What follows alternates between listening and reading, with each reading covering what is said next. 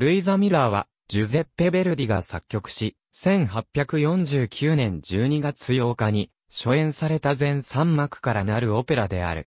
ルイザは村人たちに誕生日を祝ってもらっていたが、恋人であるカルロが来ていなかったので、気持ちが浮かなかった。ルイザの父、ミラーは、カルロの蘇生がわからなくて心配であった。そこへ、カルロが現れルイザは喜んだ。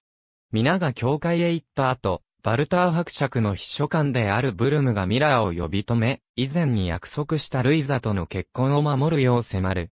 ミラーはそれは、娘の自由というが、ブルムからカルロが、実は、新しい領主の息子のロドルフォであることを知らされ、やはり心配していた通りであったと驚く。ブルムは、バルター伯爵に、息子のロドルフォが、村娘と恋に落ちていると告げ口をする。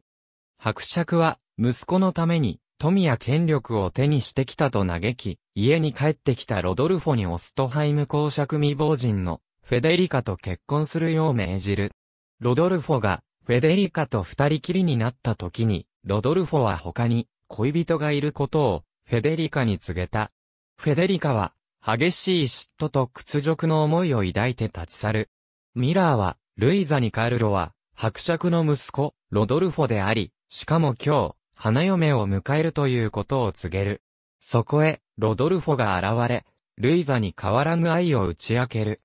さらにその後、バルター伯爵が訪れ、財産目当てで息子を誘惑するなとミラー親子になじり、兵士に二人を連行するよう命じる。しかし、息子のロドルフォに、伯爵になるまでの悪語を暴くと脅され、逮捕を諦める。城に囚われている哀れなミラーの様子を村人たちが、ルイザに話す。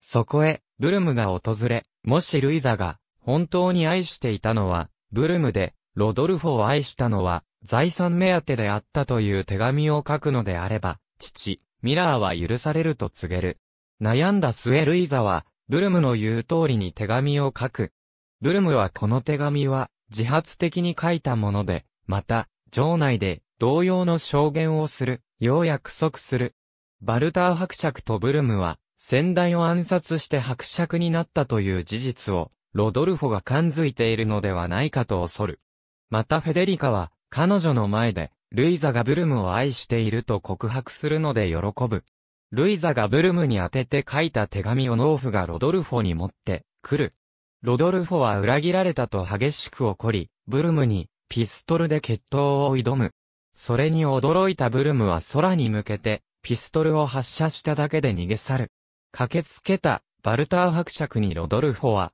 フェデリカと結婚すると告げる。ミラーが釈放され、家に戻ってきたので、ルイザを慰めていた村娘たちは家路に着く。その時、ミラーはルイザが自殺を考えていることを悟る。